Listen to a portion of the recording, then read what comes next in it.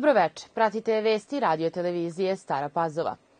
U Briselu je danas održan hitan sastanak na visokom nivou u okviru dijaloga Beograda i Prištine. Tenzije na Kosovo i Metohiji pojačane su zbog najave Prištine da će sutra početi da novčano kažnjava vlasnike vozila sa srpskim registarskim oznakama uprkos apelima iz Sjedinjenih američkih država i Evropske unije koje su Kurtiju uputile više poziva da odloži primenu odluke o tablicama, ali i da poštuje briselski sporazum. Najpere su održani odvojeni sastanci, a zatim je usledio i zajednički. U fokusu dijaloga je bilo izbegavanje dalje eskalacije i tenzija na terenu sa akcentom na registarskim tablicama i povratku Srba u institucije. Direktor snabdevanja električnom energijom u ogranku EPS snabdevanje Aleksandar Bjeličić rekao je za RTS da je od 3,37 miliona domaćinstava njih 45 odsto smanjilo potrošnju struje u oktobru. Napominje da su i građani i privreda ozbiljno shvatili energetsku krizu, pa je ukupna potrošnja u oktobru 2022. godine 11% manja nego u oktobru 2021. godine. Gas će u u Srbiji od 1. januara poskupeti 11%, a električna energija do 10%. Ministarka rudarstva i energetike Dubravka Đedović potvrdila je RTS-u da će od januara u istom procentu biti povećane i cene energenata za privredu. Domaćinstvima koja štede struju svakog meseca od oktobra do marta mogu smanjiti račun 15 do 30%. Uštede se obračunavaju u odnosu na isti mesec prošle godine, a prve su već evidentirane u oktobarskom računu koji je stigao.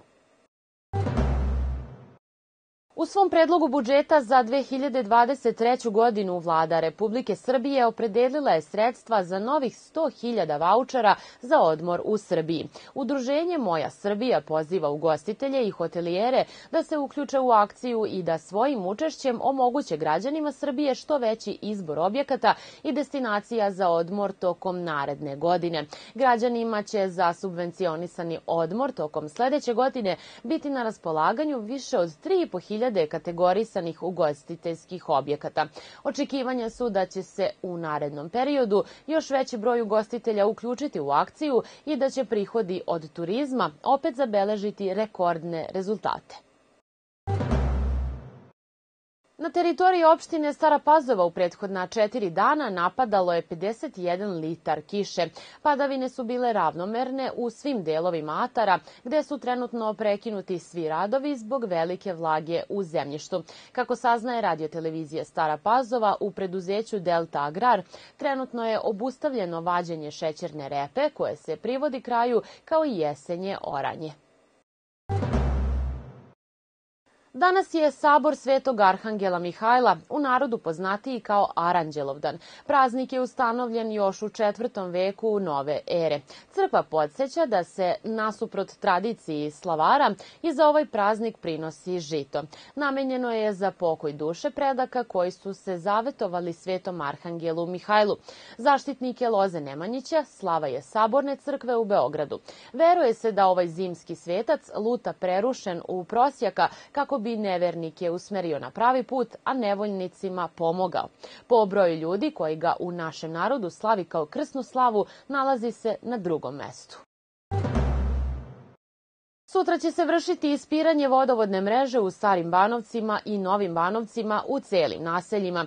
Ispiranje vodovodne mreže u Starim Banovcima planirano je od 7 časova i trajaće nekoliko sati. Ispiranje vodovodne mreže u Novim Banovcima planirano je od 19 časova i trajaće takođe nekoliko sati. Za vreme ispiranja preporučuje se korisnicima da ne uključuju uređaje koji koriste vodu, kao što su na primer mašine za veš ili mašine za sudove, a nakon ispiranja, ukoliko primete mutnu vodu, da puste vodu sa svojih slavina nekoliko sekundi dok se ne izbistri. Odbojkašice jedinstva iz Stare Pazove pobedile su u subotu ekipu AS Batajnica i tako upisale i sedmu uzastopnu pobedu u Banka Poštanska štedionica Superligi Srbije. Susret u Staroj Pazovi završen je maksimalnim rezultatom 3 prema 0 po setovima 25-21, 25-14 i 25-17. Naredni rival u okviru osmog kola Superlige Srbije ekipi Jove Cakovića koja zauzima prvo mesto na tabeli biće odbojkašice Beogradskog Partizan FBeta. Odbojkašice omladinca iz Novih Banovaca nisu uspele sinoć da savladaju ekipu Partizan FBeta u okviru sedmog kola Superlige Srbije. Gostujuća ekipa meč je rešila u svoju korist rezultatom 3 prema 1. U narednom osmom kolu omladinac gostuje odbojkašicama Indije.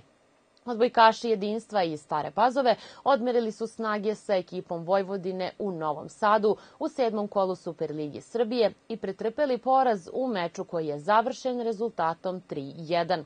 U narednom kolu Staropazovčani dočekuju radnički iz Kragujevca.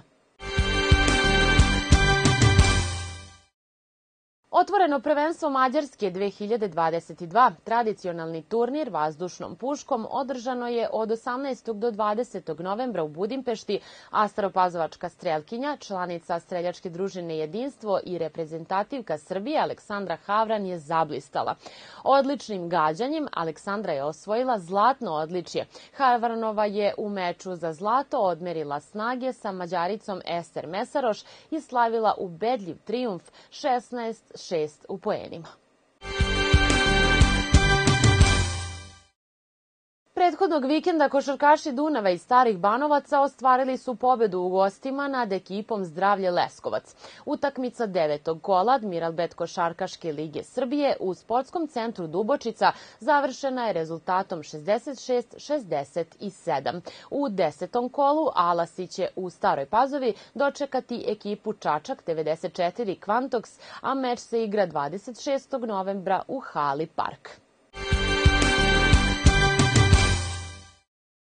Na drugom kolu Lige za kadete i mlađe juniore Vojvodine, koje je održano u Zrenjaninu, 13-godišnja strelkinja streljačke družine Jedinstvo Sofija Adamović osvojila je prvo mesto u konkurenciji kadetkinja i drugo mesto za mlađe juniorke. Teodora Hakač zauzela je treće mesto u konkurenciji mlađih juniorki.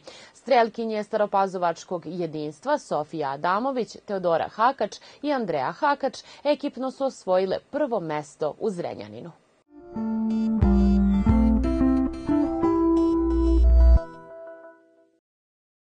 Vreme sutra pretežno oblačno, prepodne uglavnom suvo, posle podne mestimično sa kišom. Vetar umeren i jak u Košavskom području sa olujnim udarima jugoistočni. Najniža jutarnja temperatura od 1 do 5, najviša dnevna od 10 do 15 stepeni.